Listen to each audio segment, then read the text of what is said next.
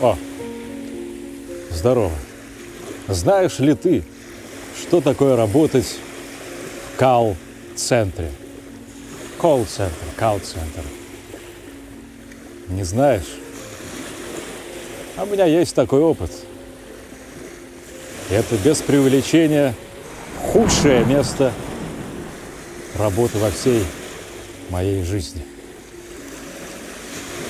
Под лучи закатного солнца я хочу поведать тебе эту историю. Как я попал, устроившись, обучившись и работая в кал-центре. Амстердам.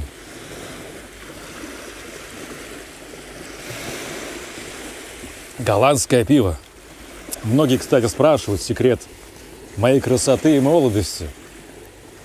Это импортное пиво делает свою работу.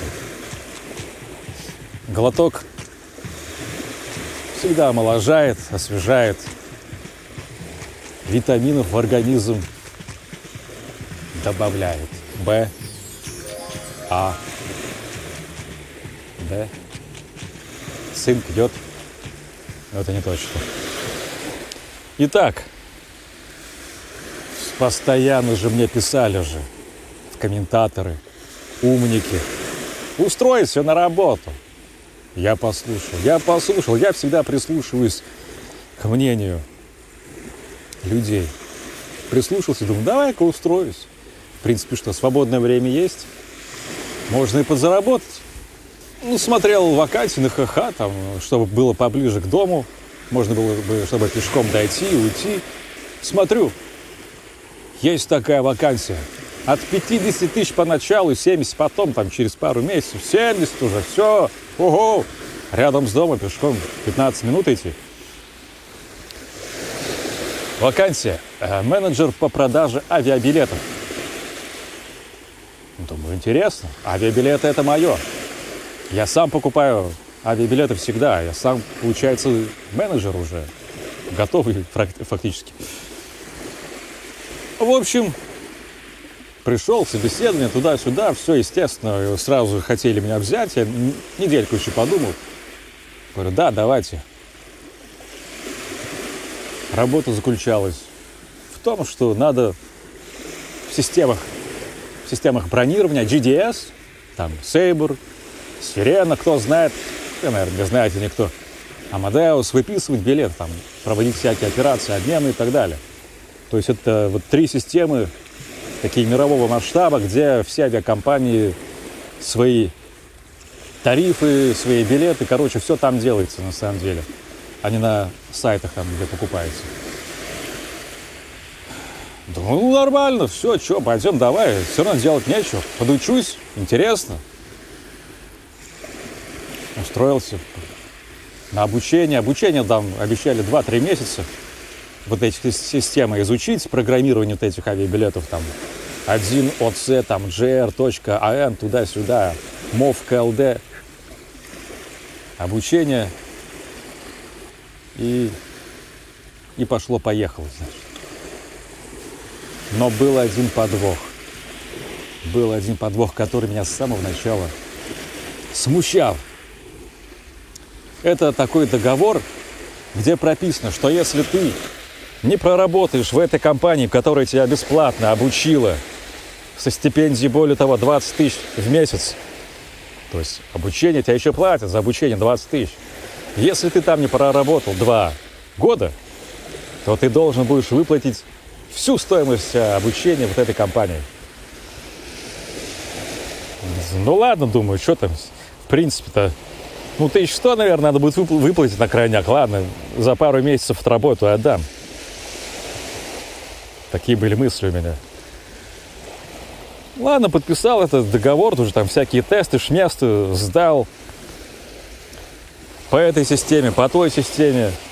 Тесты туда-сюда.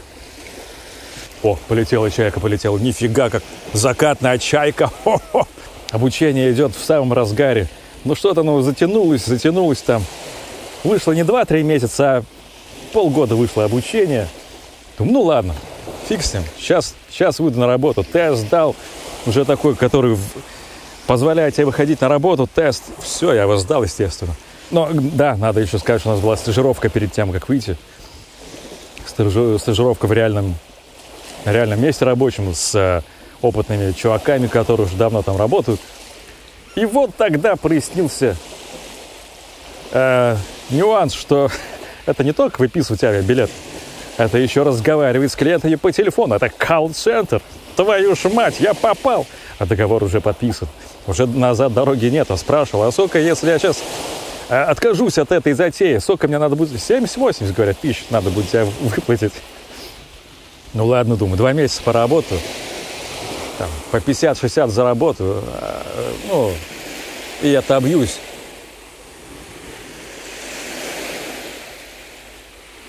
Колл-центр. А просто дело в том, что как бы говорить-то по телефону, это я, я вообще не люблю. Это я, я ненавижу с клиентами какими-то. Тем более с клиентами. Нет, с людьми-то нормальными-то можно поговорить, конечно. Даже приятно бывает иногда. Ну, если прям человек приятный себе. Но с этими а, обормотами, которые звонят, здравствуйте, нам нужен билет на сегодня. Или а, а, сдать билет на сегодня, через два часа, через час сдать билет на сегодня. И ты вот в этой Э, суете начинаешь какую-то херню там вот это все отменять. Вот это к этому, э, моя психика к такому не готова. Нет, еще, чтобы говорить что-то, объяснять по телефону, одновременно что-то делать, ну что, что с ума сошли, что ли? Я с клиентами говорю по телефону. Вот ты как это себе представляешь? Это, конечно, да. Немножечко получается, что я попал. И более того, надо было заполнять еще всякие бухгалтерские хери. То есть ты выписал билет, например, и, соответственно, делаешь еще и выписку такую, такой какой-то бухгалтерский документ, где ну, вписываешь данные. Кто полетел, откуда, куда, в какое время, какой день, какая компания, на какую компанию это подставить, надо таксы туда прописать, сборы, сервисные сборы, твою ж мать. А, это бухгалтерия пошла еще. Короче, мы то, что мы изучали, это была одна треть того, что реальная работа. Там и выписываешь из себя в этих системах, и с клиентами что-то говоришь по телефону, пытаешься через вот эти сраные дурацкую связь. И, и через где-то месяц, две недели, неделю, я понял, что что-то мне кажется, это не мое. Сейчас, кстати, солнце опустится совсем. Совсем опустится солнце, все. Мы прям закат застали с тобой. Что-то, кажется, это не мое. Ну ладно, думаю, получу зарплату, наверное, будет хотя бы зарплата нормальная. Сейчас подождем, два месяца хотя бы, 70-80. Нормально, отдадим, все, пойдем а, нормально дальше. Все будет. День зарплаты наступает. Как ты думаешь, сколько я получил? Напиши в комментариях. Вот прямо. Три секунды даю. Набрали воздух, набрали воздух, давайте наберемся, воздух наберем сейчас. 32 тысячи.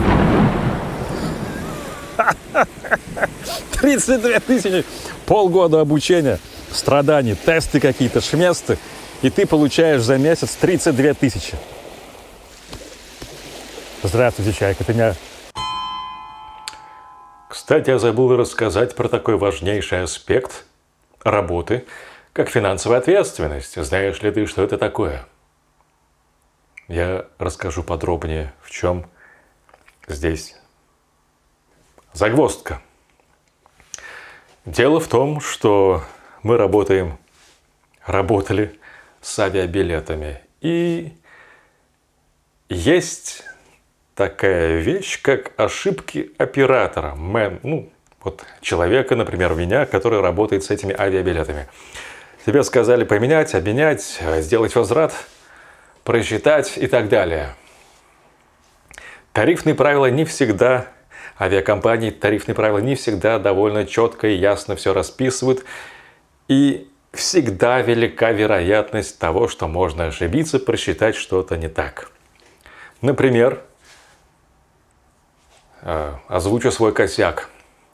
Надо было сделать мне обмен э, авиабилета, компания Якутия. Я провел обмен на другую дату. Но в процессе обмена случилось так, что система поменяла тариф, который изначально был возвратный, на невозвратный. Я это не прочекал. Тариф получился нового билета, обмененного невозвратный, а клиент кусок говна запросил возврат. Компания, на которую я работал, решила отдать деньги клиенту. Ну, в принципе, он, конечно, ни в чем не виноват. Он заплатил обмен, потом возврат. Это нормально. Компания отдала деньги клиенту. А стоимость билета осталась на мне. Билет стоил 22 тысячи рублей. И минус там штраф за обмен, за возврат. В итоге 18 тысяч рублей моя вина. Из-за невнимательности, из-за того всего. Но так или иначе, это человеческий фактор, и этого нельзя никак отменять. 22 тысячи. Ладно, первые там три месяца компания 75% брала, брала вот этого штраф, штрафов и прочих твоих ошибок на себя, а 25% финансовая ответственность на мне. Итого я попал на 4700 рублей, получая зарплату в 32 тысячи в месяц. То есть ты понимаешь, да, что билеты бывают не только за 22 или 18 тысяч рублей. Мы выписывали билеты за 200 и за 500 тысяч рублей. Делали обмены вот на эти суммы. Некоторые выписывали билеты за миллионы. Ты представляешь, какая-то лежит на тебе вот это вот... Каждый раз, когда ты тыкаешь кнопку «Выписать билет» на несколько сотен тысяч рублей – и понимая, что ты можешь попасть из-за своей невнимательности, ты не уверен. Еще в себе ты там не работал 500 лет в этой компании, ты еще... Это огромный стресс, когда ты вот видишь эти цифры. На следующий же день я пришел, все, хватит с меня, этого довольно. Мне уже не больно. А Фидезен чувств. Я срал на ваших клиентов, я срал на ваши бухгалтерские документы и выписки. Сами условия, ты представляешь, приходишь там к 9 этим сраным, к 9 утра, этим вонючее расписание. Пришел там, ладно, пошел заварить чаек себе. И тут приходит начальство такое на кухне. Само начальство на кухне тусит, а мне что-то говорит. Типа, а, а вот сколько у вас начинается на рабочий день? Говорю, в 9. В 9. И вы завариваете чай? Говорю, да, завариваю чай. Проблема? Was ist passiert hier? А вы не думаете, что это неправильно? А что такого? Чай, блядь, с утра заварить. Хули не... Чего нет-то, блядь? Нормальный чаек с утра самое то. Другие ваши коллеги, которые работают в смену, могут не выйти в перерыв. Блядь, так это ваша тупая система не позволяет. Я-то здесь при чем? Я хочу чаек с утра долбануть, блядь!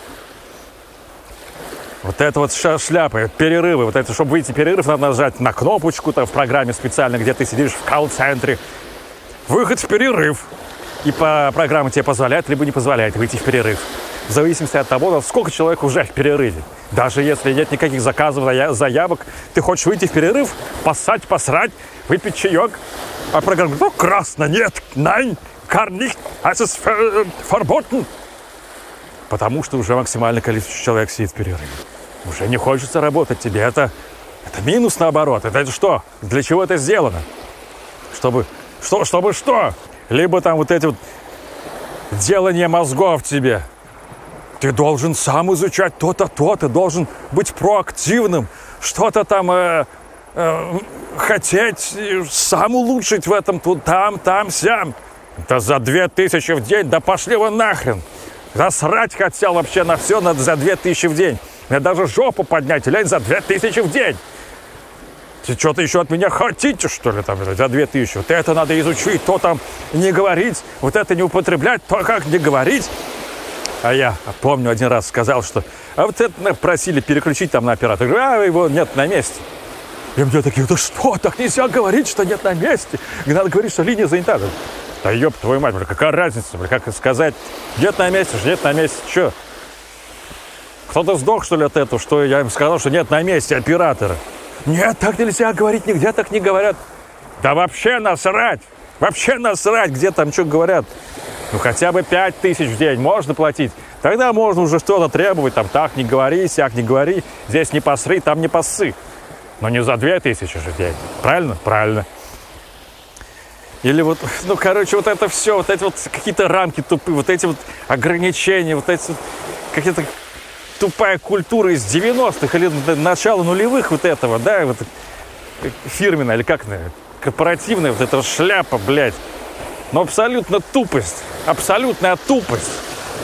Когда сейчас уже в Европе модерна, модерна арбатсайт модель, да, модерна арбатсайт модель. Уже flexible надо быть. Надо, чтобы работник был счастлив в первую очередь. Я что был счастлив. Тогда все будут счастливы. И клиенты будут радостны, и все радостны. Надо, чтобы я был счастлив. Модерный Arbeitszeit модель. Flexible Zeit. Flexible время, чтобы я мог прийти не в 9, а хотел в 11 прийти. Чуть попозже, чуть пораньше. Чтобы а не вот это вот, обязаловка какая-то, ограничения здесь не выйти, там не выйти, там так не говори, сяк не говори, ну, чай не завари, блядь, на стуле не, блядь, не покачайся, стул сломается, сука, это расходный материал. Стул ваш сраный, блядь, скрипучий стул. Мне это все нахрен не уперло за 32 тысячи. 32. Nein, das geht gar nicht, сказал я прямо так им. На что мне сказали, хорошо, тебе надо будет выплатить. Сколько, как ты думаешь, сколько? Сколько?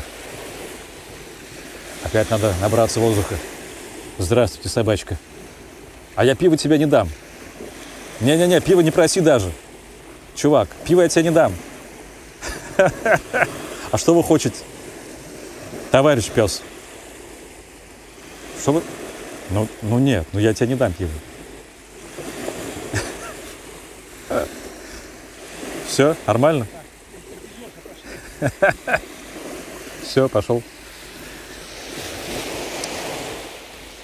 Местный наш или отдыхающий? Местный? А что? Я оказался должен этой компании, которая дал полгода своей жизни. И заработал 32 тысячи в месяц в результате. Ну ладно, я получил от них стипендию за полгода. 110 тысяч. В итоге должен 253 косаря.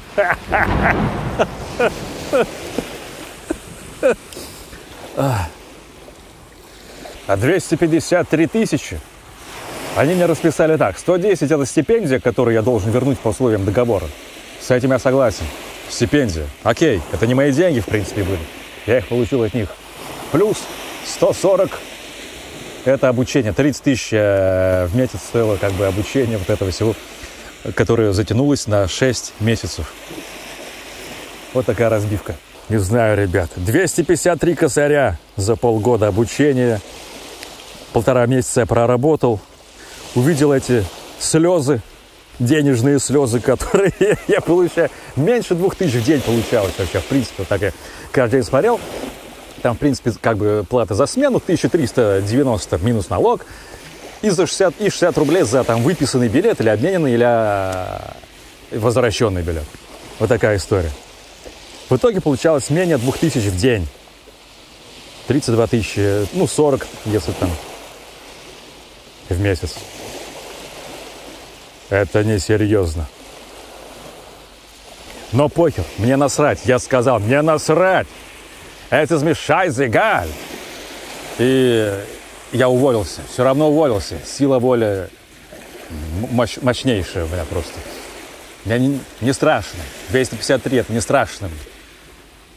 Расплатимся. 10 месяцев мне сказали рассрочка. Так что, что не придумаем? Вот я не хотел же, но я вас послушал. А вы мне желали, пожелали, пожелали зла, оказывается. Чтобы я страдал, чтобы я попал на 253 косаря. Вы мне пожелали этого. Все, вы виноваты. Это сколько биткоинов? 4 биткоина вы мне должны, товарищи. 4 биткоина. Ссылка будет на биткоины, чтобы мне прислать в описании ролика. Ладно. Я сейчас, на самом деле, в Зеленоградске. Сегодня я подался на новый загранпаспорт, потому что мой нынешний уже устаревает, там уже осталось 4 года его действия. Это уже не то. Уже пятилетнюю французскую визу мне туда не поставят. А мне нужна пятилетняя французская виза, шенгенская. Старая сказала до свидания в прошлом году, в октябре. Американскую визу мы с ней попрощались в августе, 11 августа тоже. Последний путь ушла она, американская виза. Все, паспорт безвизовый у меня. И это печалит. Это страшно печалит. Ощущение такое темное, пожирающее изнутри, как будто бы. Давай, а давай, а давай купим билеты в Берлин. 20 тысяч чего, через Стамбул. 20 тысяч. А, а виза же нету. Виза же нет. И все. Все настроение. Капут. Капут настроение. Амстердам. Хороший такой Амстердам. Премиум лагерь. Ой-ой-ой. Фантастика. Фантастика. Ладно. Вот, все. Солнце зашло. С работы уволился. 253 косаря. Херня. Найду. Есть мыслишка. Виза кончилась. Как будто бы все подошло к концу. Все как будто все вот и там не то, и там не то, и здесь не то, и везде не то, все не то. Но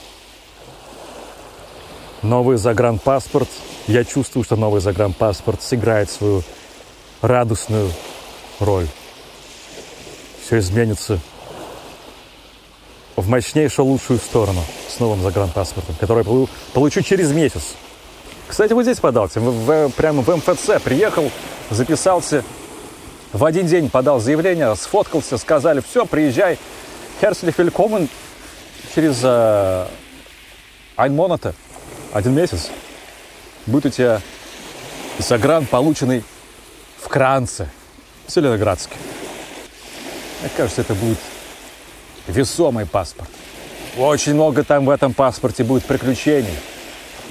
Я надеюсь, я, я чувствую это, я желаю, я чувствую, что вот-вот-вот оно, сейчас оно вот начнется.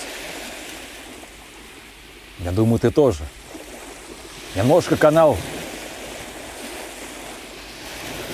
был на паузе. Ну, лето, жарко, делать ничего не хочется. Когда жара, вообще нет настроения ничего делать. Хочется просто лежать. Ну, или хотя бы кондей включить, если кондей... А вот кондея нет, и поэтому ничего не было. Сейчас начнется осень. Осень – это самая офигенная пора. Все самое крутое случается осенью. Лето – это полная шляпа, это полное говно, санина говна. Или, да.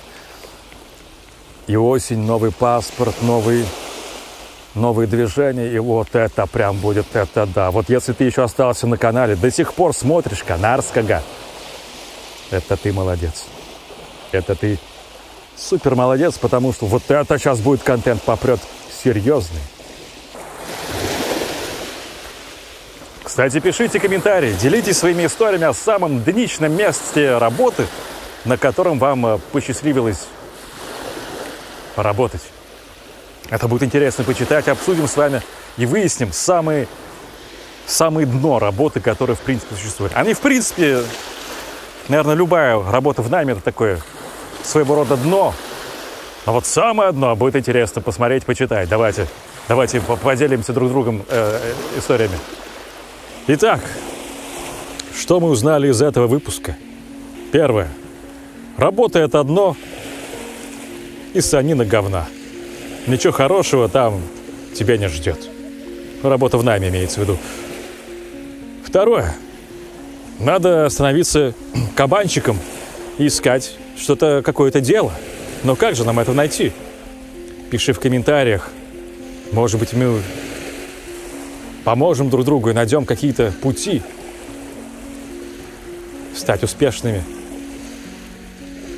без денег. Третье. Вы мне все должны 4 биткоина. Ссылка на биткоиновский донат в описании. Я жду их сегодня-завтра. Надо, надо расплатиться с, с компанией. И четвертое. Пиво молодит.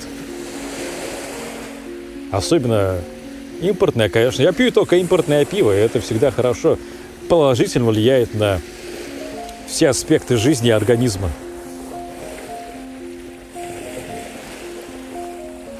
Просто. Скоро увидимся. Скоро будет офигенный... Ну, это не точно. А может и не будет, хер его знает. Посмотрим. Но ты, кстати, это... Подпишись и поставь лайк.